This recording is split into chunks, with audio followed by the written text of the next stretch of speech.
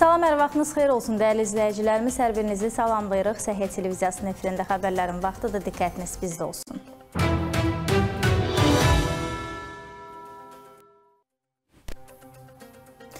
Keçid alırıq xəbərlərimizə. Nəzərə alsaq ki, tıxaclar günümüzün böyük problemlərindən biridir. O zaman bu məsələni aktuallaşdırmaq yerinə düşər. Bəzi xəstəxanaların qarşısında avtomobil parklanması üçün yerlər demək olar ki, yoxdur. Sürücülərin burada rol payı nə qədərdir və bunun üçün hansı tədbirlər görülməlidir, öyrənək.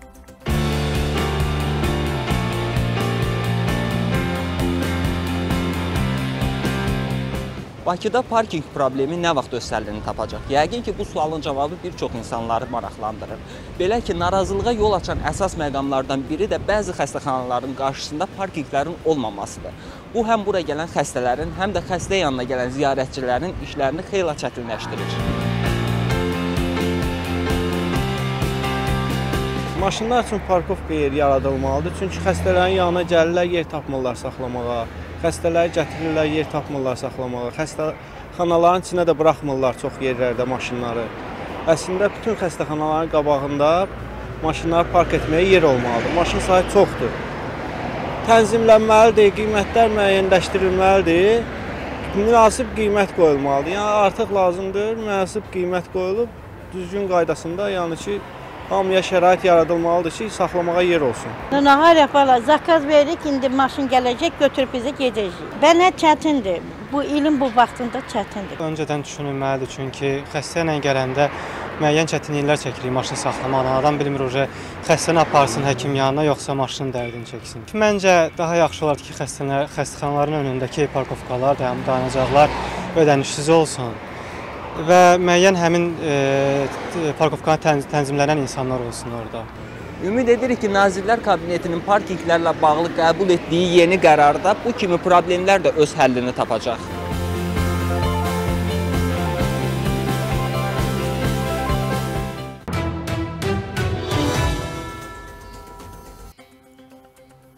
Son günlər sosial şəbəkələrdə 13 yaşlı qızın əməliyyatla oğlan olması ilə bağlı yayılan xəbərlər çox müzakirə olundu. Əməliyyatı həyata keçirən uşaq cərrahı Toğrul Ömərov bütün bu söz söhbətlərə son qoyub. Sən demə bu hansı xəstəlik imiş sıradakı sujetdən öyrənək.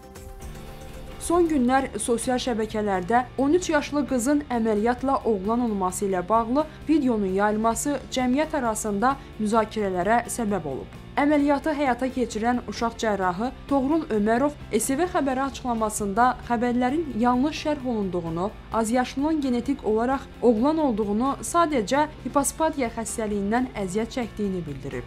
E, bu uşaqda nədir? Bu uşaq genetik olaraq oğlandır. Daxili orqanlarda hər bir şey oğlandır. Xayalları var, yerindədir. Bir xayası, bir xayası yuxarıdadır və burada problem odur ki, hipospadiya deyilən bir patologiya var. Aralıq forma hipospadiya. Yəni sidik kanalı aralığı açıldığına görə penis balaca olur, əyri olur və bu qız orqanını xatırladır və ona görə səhv olaraq adı qoyulur. Bu pasiyent sadəcə 13 yaşına qədər o qız kimi böyüdülüb və e, hansı ki rayonda yaşadıqlarına görə çox ciddi bir həkim müayinələri də keçməyiblər.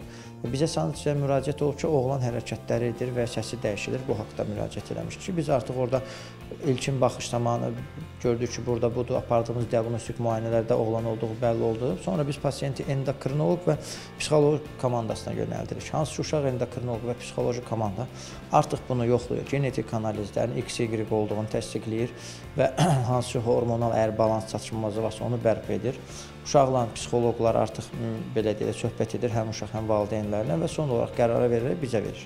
Və biz də həmin pasiyenti əməliyyat edərək oğlan yönümdə belə deyək də aparıq, düzəldirik. Hansı ki, cinsiyyət orqanında hipospadiya dediyimiz orqanın anomaliyasını biz korreksiya edirik. Həkimin sözlərinə görə problem bir əməliyyatla həll olunub. Belə uşaqların sayı isə çoxdur. Bu az yaşlının gündəm olması isə sosial şəbəkələrdə xəbərlərin yanlış təqdim olunmasıdır. Belə pasiyentlərdə yalan yalançı uşaqlıq yolu olur ki, bu da çaşqınlıq yaradır. Qeyd edək ki, hipospadiya sidik kanalının xarici dəliyinin yerləşmə anomaliyasıdır. Daha dəqiq desək, hipospadiya zamanı sidik kanalının xarici dəliyi cinsi orqanın başı ilə anus arasında hər hansı bir səviyyədə yerləşir. Yəni bu uşaqlarda sünnətin ucunda sidik kanalı olmur. Daha doğrusu sünnətin ucuna qədər gəlib çatmır. Bundan başqa cinsi orqanın aşağıya doğru əyilməsi sünnət dərisinin aşağı hissəsinin olmaması xarakteridir. Başqa sözlə desək, hipospadiya cinsi orqanın inkişaf qüsurudur. Məsələn, kan dediyinin bir xəstəlik var, konjenital adrenal hiperplaziya, ana dəmrəlmə, böyrək üstü vəzinin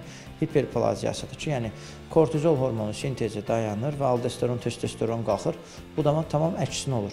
Bu zaman uşaq qız uşağı olur, genetik daxili qızdır, amma genetik də qızdır, amma da xarici orqanları inkişaf dövründə kortizol yetmir deyənə testosteron, aldosteron qalxır, bunu oğlan uşağı kimi formalaşdırır. Psixoloji olaraq, yəni bu yaşa qədər böyüdüb, artıq uşaq özü də özünü başa düşür ki, bu qız deyil, oğlan kimi hərəkət edir. Bu 13 yaşında olandan gedində söhbət hansı ki, və valideynlər də ona görə gəlmişlər ki, bu artıq oğlanlarla oynamağa qaçar bu şeylər var ki, yəni elədiyi hərəkətlər və artıq yenə yoxlanıldıqda da genetik və digər analizləri hansı ki, endokrinoloqlarımız yoxlayıb, onların nəticəsində bəlli oldu ki, bu oğlandır. Bütün zaten biz onu ilk baxışda diaqnozu demişdik və endokrinoloq psixoloq da bunu təsdiqlədi və onun yönündə də biz əməliyyatı başladıq icra etməyə. Həkimin sözlərinə görə bu hal vaxtında müəyyən olunmadıqda cəmiyyətə yararsız insan yetişir. Daha dəqiq desək, xəstə özünün qadın və ya kişi olduğunu müəyyən edə bilmir. Halbuki bu patologiyaya əvvəldən diaqnoz qoyulmalı və 6 ayından 18 yaşına qədər fərd əməliyyat olunmalıdır. Əməliyyatdan öncə isə şəxslər psixoloji söhbətlər aparılır və endokrinoloqun müayinəsindən sonra əməliyyata qərar verilir. Şanun Qasımova, Səbuhi Mustafayev, STV xəbər.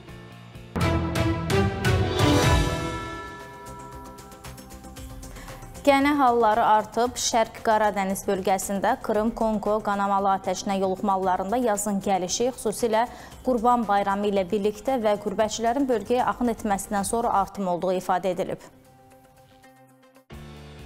Türkiyədə Krım-Kongo qanamalı qızdırması halları 2008-ci ildən sonra azalmağa başlasa da, son bir neçə ildə yenidən artıb. Mütəxəssislər xüsusilə iyunun ortalarından iyulun sonuna qədər gənə xəstəliyinin yüksək tendensiyaya malik olmasına diqqət çəkərək, bu dövrdə həddindən artıq ehtiyatlı olmaq lazım olduğu barədə xəbərdarlıq ediblər. Doktor Gürdal Yılmaz bildirib ki, gənənin bədəndə qalma müddəti xəstəliyin gedişatını dəyişir. O, xüsusilə yazın gəlişi ilə və Qurban Bayramından sonra bölgəyə axın edən həmyerlərimizin gənə infeksiyası olaraq tanınan Krım-Kongo qanamalı qızdırması hadisələrinin artdığını diqqətə çatdırıb. Biz düşünürük ki, bu artımı göz ardı etmək olmaz. Diqqətli olmaqda fayda var. Unutmamalıyıq ki, Krım-Kongo qanamalı qızdırması olan xəstələrdə ağırlaşmalar, hətta ölüm halları da baş verə bilər. Bölgələrə gedənlər corablarını şalvarının üstünə qədər qaldırsınlar. Hər gün bədənlərini diqqətlə nəzərdən keçirsinlər, deyə bildirib. Gənə dişləməsi hadisələri iyun ayının ortalarından iyunun sonuna qədər ümumiyyətlə sıx olduğunu xatırladan Yılmaz, bu ən çox rəqəmlərin olduğu dövrdür. Ölkəmizdə 2002-ci ildən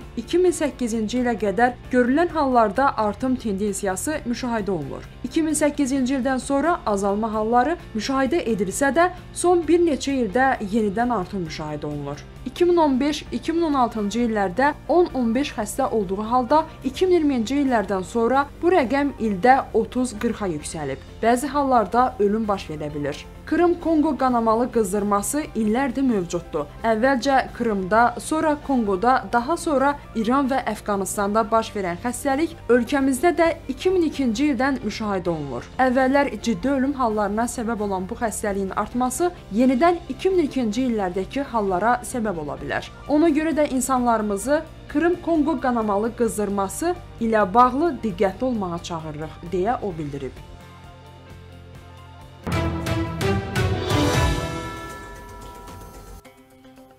Kanadalı elm adamları apardıqları yeni bir araşdırma ilə toyuq məhsullarında zəhərli bakteriyaları müəyyənləşdirən sensor qab hazırlayıblar.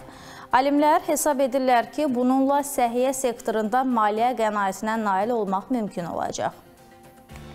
Toyuqlarda bakteriyaları anında aşkar edən konteyner istehsal edilib. Kanadada tədqiqatçılar qablaşdırılmış çiğ və ya bişmiş toyuq məhsullarında qida zəhərlənməsinə səbəb olan zərərli bakteriyaları dərhal aşkar edən sensor qab hazırlayıblar. Manchester Universitetinin rəsmi saytında dərc edilən açıqlamaya görə, universitetin tədqiqatçıları qida zəhərlənməsinə səbəb olan Salmonella adlı bakteriyaları və xəstəliklərə səbəb olan digər təhlükəli mikrobları aşkar edən sensor qab hazırlayıblar. Kənarları əyri olan sensor qab içəriyə qoyulan toyuq ətindən qalan mayeini analiz edəcək, mobil telefonların köməyi ilə istehlakçılara və satıcılara əllərindəki məhsulda salmonellanın olub-olmadığını göstərəcək. Qayıq formalı qabın salmonellaları aşkarlanmasına imkan verən texnologiya xəstəlik törədən listeriyaları və qalın bağırsağı yoluxduran digər qida mənşəli bakteriyaları aşkar etmək üçün hazırlana bilər. Yeni texnologiyanı həyat qurtaran olaraq xarakterizə edən elm adamları zərərli bakteriyalar haqqında məlumatların anında əldə edilməsinin qida məhsullarının yaratdığı sağlamlıq problemlərinin qarşısının alınmasında təsirli ola biləcəyinə diqqət çəkiblər. Alimlər vurğulayıblar ki, bununla səhiyyə sektorunda maliyyə qənaətinə nail olmaq olar. Qeyd edək ki, hər il dünyada 600 milyon insan qidada olan zərərli bakteriyalara görə sağlamlıq problemləri yaşayır.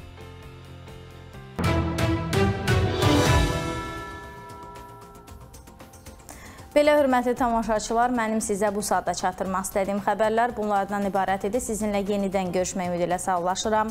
Daim yenilənən səhiyyə yeniliklərini STV Xəbərin sosial media hesablarından da izləməyi unutmayın. Sağ olun, salamat qalın, görüşərik.